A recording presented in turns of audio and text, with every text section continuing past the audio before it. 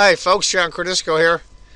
Just played this game on ICC. I'm J Councilman John is white, and my opponent's name is pretty cool name, Vastly Inf Inferior.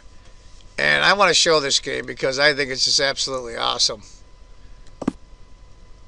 We played out. I played a scotch. He took, because we all know the old trick here. Watch out for knight takes, knight on c6.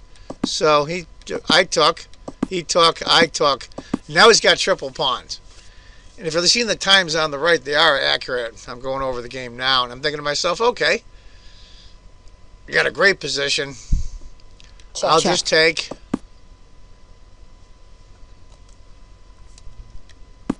I'll have him waste more moves.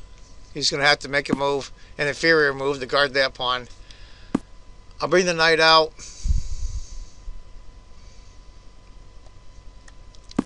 Bishop, I figure I'll just leave it. If he takes, which he did, I'll take with my knight. Think myself, I'm set pretty good here. Uh, his triple pawns. My knight's going to raise heck with those pawns. So he went rook. I figured out what the hell, I got time. He moved the rook over. I guarded.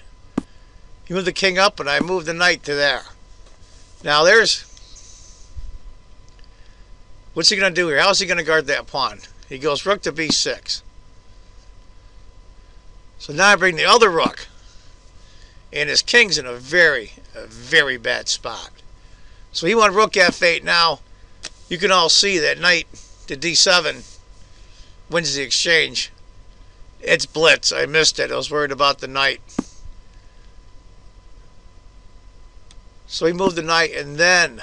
Check. I checked him and won the exchange. But the reason why I'm showing this video, not because I won, I'm not that egocentric. At the end is a really, really cool mate. King up, I take, he takes. I go e5, trying to cut off the king the best I can, get my rooks into play. He moves up. Now I take double check. check. He doesn't take with the king because he'll lose the rook. So he moves the king over. I check. check.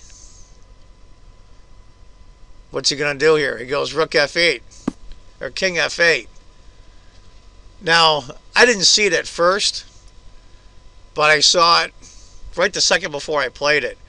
I'm thinking to myself, well, I can win the rook. F takes G, I win the rook. But F takes G also mates. Checkmate. I only showed this because that's probably the coolest mate I've ever given anybody. Pretty cool. Anyway, folks, I thought I'd show that to you. Um, I'm not that great at blitz, but I like to play. But this mate was really awesome. It's one of those weird mates that you never get to see, especially uh, when you're playing. So anyway, folks, hope you enjoyed that. Kind of cool. Uh, look for more videos coming up. It's a little bit dry the next few weeks for tournaments, but I've got some games from the Broome County Championship I'll probably show that we had here at Cordisco's Chess Center. I live in upstate New York in Binghamton. And as I always say at the end of my videos, if you think chess is just a game, you're not playing it right. Take care, folks. Bye-bye. Pretty cool, mate, huh?